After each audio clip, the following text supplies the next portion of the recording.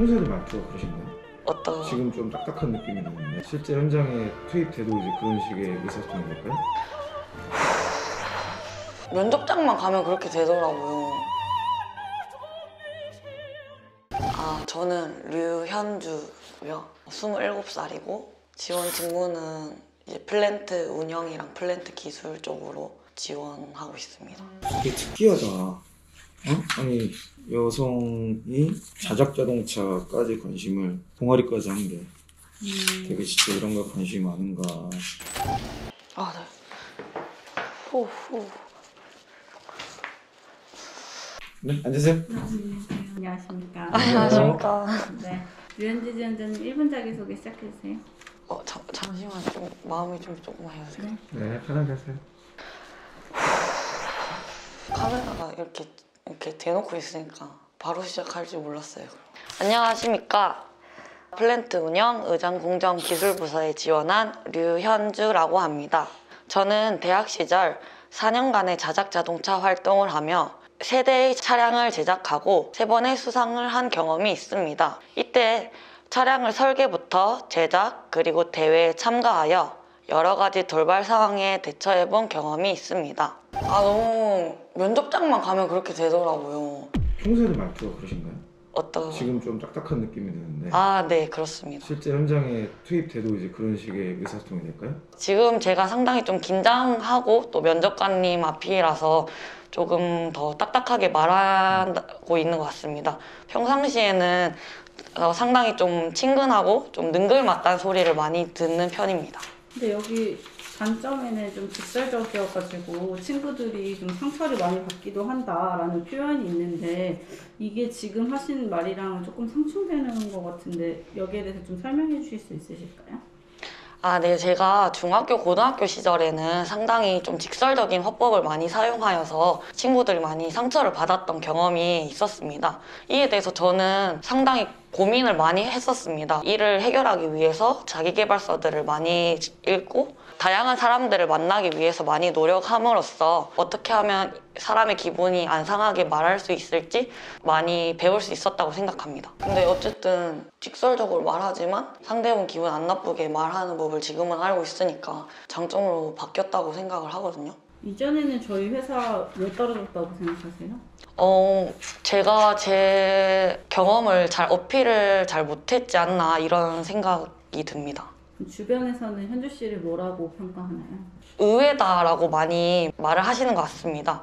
처음에 딱 보게 되면 마르고 이런 체형 때문에 좀 체력도 없을 것 같고 힘도 없을 것 같은데 자동차 동아리 활동할 당시 제가 직접 강판도 옮기고 철판 파이프 이런 거 옮기는 모습을 보면서 진짜 너 깡다구가 진짜 대단하다 이런 말씀도 많이 들었고 조금만 친해져도 금방 어, 친화력이 정말 장난이 아니다 이런 말을 많이 들었던 것 같습니다. 그렇게 근데 관심이 계속 있으신데 대학교를 졸업하시고 나서는 어떤 걸 하셨던 거예요?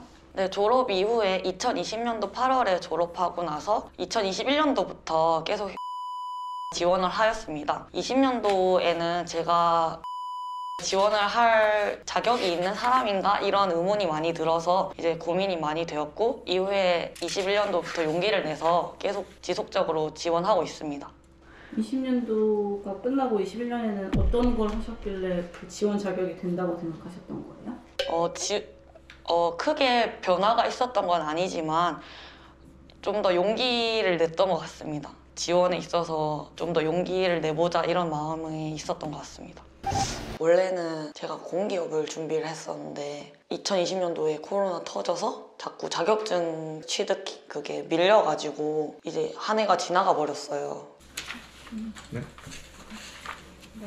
마지막으로 하고 싶은 말 있으시면 편하게 해주세요. 우선은 자리를 마련해 주신 거에 대해서 상당히 감사하다고 생각이 들고 아쉬움이 좀 많이 남는 면접인 것 같습니다. 그렇지만 제가 만약 입사를 하게 되어서 근무를 한다면 진짜로 아, 이 친구 내가 뽑은 신입사원이다 라고 말씀하실 수 있는 그런 신입사원이 되도록 하겠습니다. 감사합니다. 고맙습니다. 좀 많이 버벅거린 것 같아요. 저는 커뮤니케이션에 대한 부분이 명쾌하게 해결되지는 않았어요. 그렇지. 의사소통이 현장에 계신 분들하고 이게 쉽지 않을 것 같은데. 아무래도 커뮤니케이션이 중요한데 다소 딱딱하신 느낌을 지을 음. 수가 없어서 어, 말이 너무 괄호 열고 닫고가 많아. 그러니까 네. 정보가 잘 전달이 안 그래서 되고 누락돼. 어, 잘못되면 오작업 시키고 그리고 막 현장에서 막 뭐라 그러면 싸우고 막 그럴 것 같단 말이지. 네. 아 이게 진짜 커뮤니케이션이 안 되는 그렇지. 그런 거구나. 저는 되게 이런 경험을 처음 봤어요. 이렇게 자석 자동차를 몇 년 동안 하고 막 남자도 이런 경험이 흔치 않은데. 아, 그렇죠. 제 주변은 다 이런, 이런 아, 사람밖에 없어요. 그런 사람만 있었나 보다. 왜냐면 동아리 활동 계속 그러니까 하니까. 동아리니까 하나의 경험을 이렇게 쭉 끌고 가는 경우는 저는 많이 못 본 것 같아요. 어, 그런 맥락에서 일관성도 있고 전 되게 좋았어요. 근데 이제 면접에서 왜 떨어지는가는 나는 좀 알것알것 같아요. 같아. 뭐예요? 아주 심플해요. 의사소통이 전달이 안 돼요. 아니 그냥 딱 보면 의사소통이 어려울 것 같아. 제가요? 네. 어, 동상도 사나이 그 느낌 있죠. 그 가로 많고 막좀 무뚝뚝하고 좀 그런 느낌이 좀 있어. 없진 않죠. 그 빠른 인정하는 것도 현장에서 근로하시는 작업자분들은 사실 말 한마디를 해도 맞아요. 그것 때문에 막 마음 틀어지고 이러면 굉장히 어려워하거든요. 그리고 한번 삐끗하면은 그 뒤로 이제 막 얼굴도 안 봐요. 그런 것들 때문에 애초에 잘 될 사람을 뽑고 싶어하는 부분이 분명히 있단 말이죠. 이런 현장과 연결된 포인트는 네. 그 1분 자기 소개부터가 너무 외운 것 같아. 어쨌든 너무 외운 티가 나다 보니까 음, 의사소통을 저렇게 딱딱하게 로봇처럼 하면 어떡하지 라는 걱정이 딱 드는 거예요. 그 1분 자기 소개는 제가 여러 번 얘기했지만 하루에 몇 번 연습해요? 해, 해. 모르겠어요. 하루에 다섯 번. 다섯 번요? 네. 면접이 있건 없건 매일. 그래서 1분 자기소개는 그냥 툭 치르면 바로 안녕하십니까 이러면 바로 툭 나올 수 있어야 되고 눈 감고 눈 뜨고 뭐 뛰어가면서까지 할 수 있을 정도로 자연스럽게 하세요. 그래서 또 하나의 솔루션은 뭐냐면 그런 근로자 현장 작업자분들하고 뭔가 하는 경험 있죠. 그분들과 막 이렇게 같이 한번 싸우기도 하고 뭐 지시도 해보고 지시도 받아보고 뭐 사석에서 식사도 같이 해보고 뭐 이런 경험을 하나만 좀 만드세요. 근데 아버지가 건설 쪽에서 근무하시거든요. 무슨 일 하세요? 용접하시거든요. 용접. 그래서 맨날 아빠랑 술 한잔하고 그러는데 아빠랑만 한 거 말고 그게 너무 좋아요. 그 엔지니어 쪽에서 부모님의 영향은 굉장히 좋은 포인트거든요. 건설에서도 그래요. 건설에서도 왜 건설 지원했어요? 어, 저희 아버지가 건설 출신이십니다. 그러면 어 그래요? 그러면서 좀 다르게 보는 게 있어요.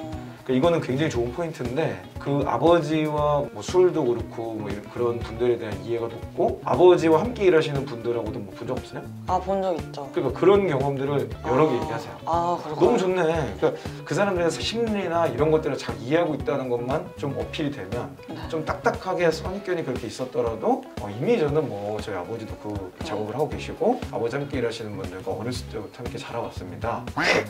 그러면 사실 어떻게 보면 되게 쉽게 해결할 수도 있어요. 아 그분들을 잘 이해하고 있다는 거니까. 공백기 이거 뭐예요? 이러시던데. 공백기 그때 뭐라고 했어요? 처음에 졸업하고 난 다음에 한 학기 있다가 바로 계속 지원했다 이렇게 대답하고 같은 경우에는 작년 하반기에 처음 넣었었거든요. 뭐 여태 안 넣고 뭐 했냐 이래서 반도체 쪽에는 제가 부족한 것 같아서 좀 공부를 하고 하반기 때 이제 넣었다 이런 식으로 말하시고 저는 공기업 준비했던 게 얘기가 될 것 같은데요? 그래요? 차라리 공기업 준비했던 거를 얘기하고 처음에는 그렇게 생각해서 잘 했는데 준비하다 하면 할수록 내가 갈 길이 아니라는 걸 깨달았다.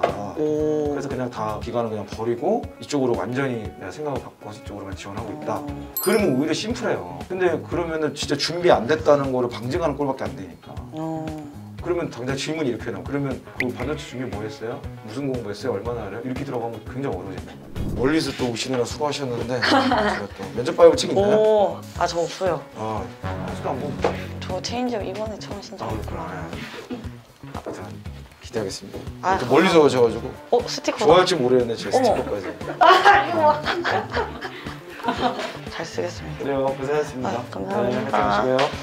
감사합니다. 네.